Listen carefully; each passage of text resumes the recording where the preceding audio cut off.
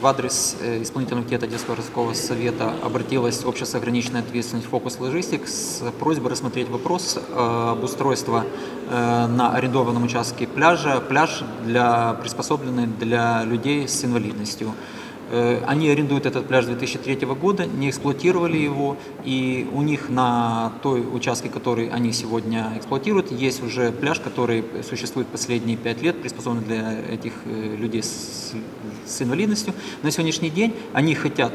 переместить его, сделать его приспособленным, обеспечить доступность людей с инвалидностью на этот пляж за счет обустройства пандусов, обустройства подъемника для спуска и подъема этих людей, обеспечить э, капитальный ремонт э, существующей подпорной стенки, которая на сегодняшний день находится в недовлетворительном техническом состоянии, и э, обеспечить намыв пляжа пляжным материалом. На сегодняшний день, как вы видели, этот вопрос поддержан, и сегодня встает вопрос его дальнейшей реализации.